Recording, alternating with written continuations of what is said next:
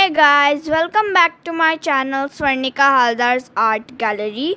My name is Swarnika and today we are going to draw a neon eye. So I have some light shaded eyes already drawn as you can see here. So the pupil part you need to do is totally brown, light brown.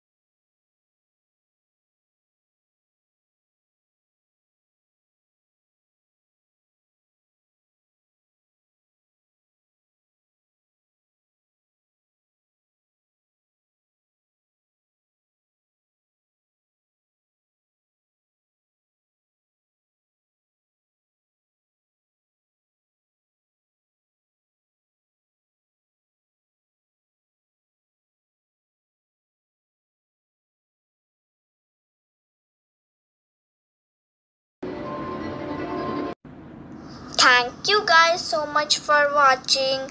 Do like, subscribe and share my channel as much as you can.